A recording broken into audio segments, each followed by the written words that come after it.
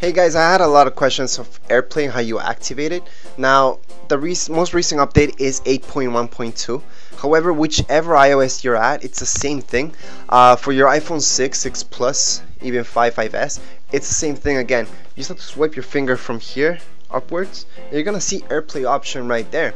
Now you're gonna see it right beside the AirDrop. Now if you don't see AirPlay, that just means you don't have an Apple TV to AirPlay to, or your Mac or your laptop. You can you can AirPlay to your Mac eh, to your Windows laptop.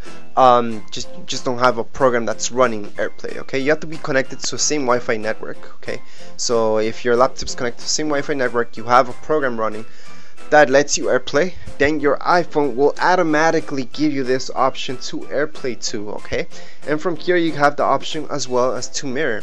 Now if you have an older iPhone, you might not have the option to mirror, but you can AirPlay. Usually iPhones 4 and 3GS, so any any iPhone before the iPhone 4 doesn't have the mirror option.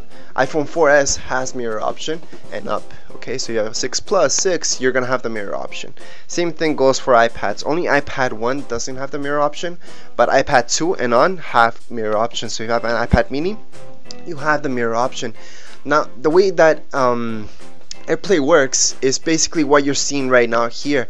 You're gonna see your exactly your same screen that you're looking at with all your apps right on your TV okay? So if you have an Apple TV you're gonna see the same thing. If you have a Mac same thing but you just need a program that works with it okay? If you have an Apple TV it should connect right away okay? You should see that. If you have an Apple TV once again go into settings and turn on AirPlay.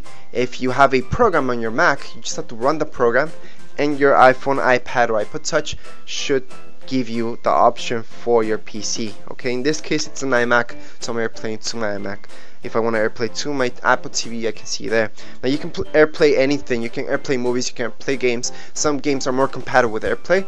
Uh, that just means you're just gonna see the controllers on your phone and you're gonna see the game on your TV some games don't support AirPlay as much. So that just means that you're just gonna see a double screen. So whatever you're looking at your iPhone you're gonna see on your screen okay? So not just the controllers on your iPhone. Um, other than that every single app that you open you will see on your iPad, Apple TV okay? So that's how it works. It's pretty basic. Once again you just swipe your finger upwards you're gonna see that. And from here you can choose what to airplay to. Um, if you guys have any questions problems you can write them here below in my channel. And don't forget to subscribe and rate. Thank you